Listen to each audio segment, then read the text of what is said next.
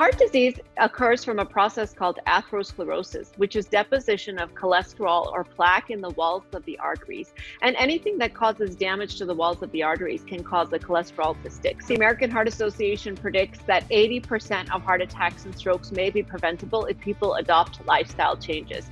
So there's a simple mnemonic you can remember for modifiable cardiac risk factors A, B, C, D, E.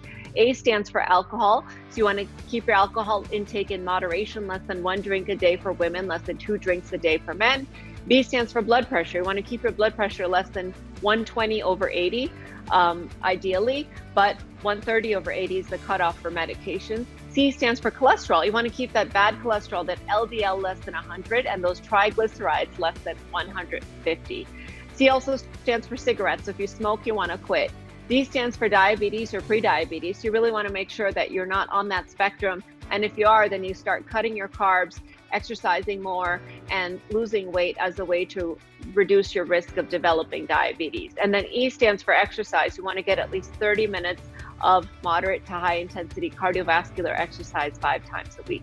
And with those lifestyle changes, you can actually dramatically reduce your risk for heart attacks and strokes and really, really help to prevent the process of atherosclerosis from occurring.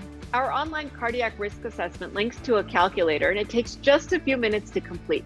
You put in your age, your gender, your height, your weight, your race. You answer a few questions about health history and family health history.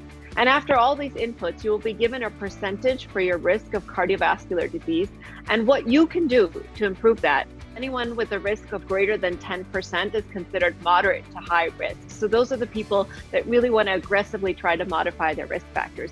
Now, even if your risk comes out to be low, because it's less than 10%, remember, age is the strongest predictor of risk. So, your risk today may be very low because you're younger, but as you get older, that risk is going to go up even with the exact same numbers. So you can't modify age because that happens without our input.